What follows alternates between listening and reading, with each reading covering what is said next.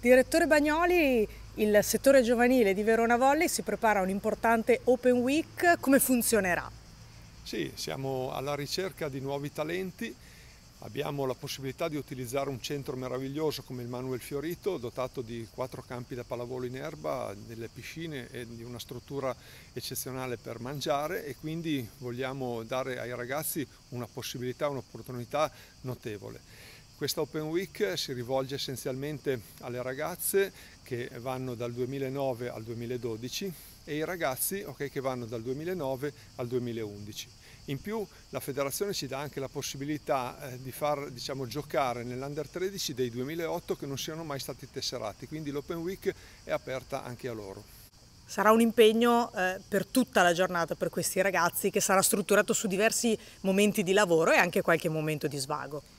Sì, assolutamente. Al mattino faremo l'accoglienza dalle 8 alle 9, poi cominceremo con una base di preparazione atletica e degli allenamenti tecnici. In tarda mattinata poi si farà il bagno prima di andare a pranzo, un momento di relax subito dopo il pranzo e al pomeriggio faremo tantissimi giochi e tante partite perché per noi è determinante il massimo impegno da parte dei ragazzi ma che si divertano. Che cosa ci si può aspettare essenzialmente da questa Open Week?